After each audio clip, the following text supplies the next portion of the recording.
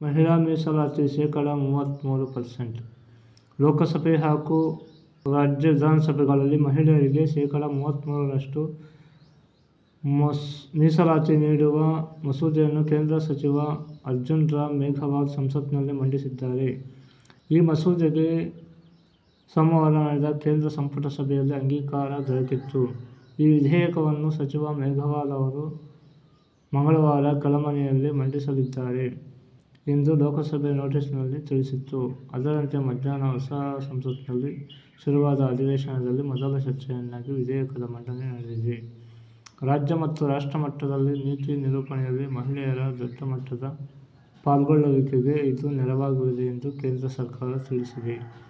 ಆದರೆ ಈ ಪ್ರಸ್ತಾಪಿತ ಕಾನೂನು ಅಂಗೀಕಾರವಾದರೂ ಎರಡು ಸಾವಿರದ ಇಪ್ಪತ್ನಾಲ್ಕರ ಲೋಕಸಭೆ ಚುನಾವಣೆಯಿಂದಲೇ ಅಸ್ತಿತ್ವಕ್ಕೆ ಬರುವುದು ಸಾಧ್ಯವಿಲ್ಲ.